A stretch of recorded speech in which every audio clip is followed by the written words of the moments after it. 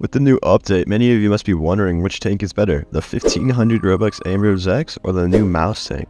Well, in this video, I'm going to be deciding which tank is better. Now let's get straight into it. We all know how good the Abrams X is. It's incredibly fast and can deal a ton of damage.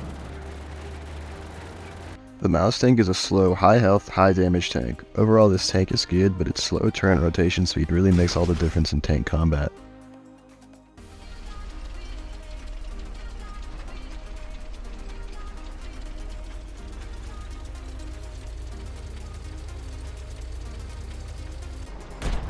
Both tanks are very capable of destroying each other.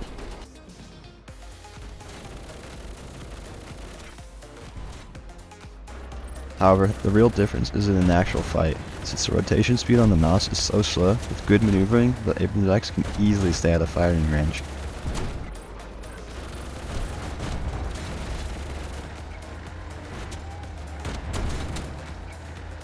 Maus tank is also incredibly slow compared to the Abrams X. Overall, the Abrams X is just better than the Maus tank and will win every single time.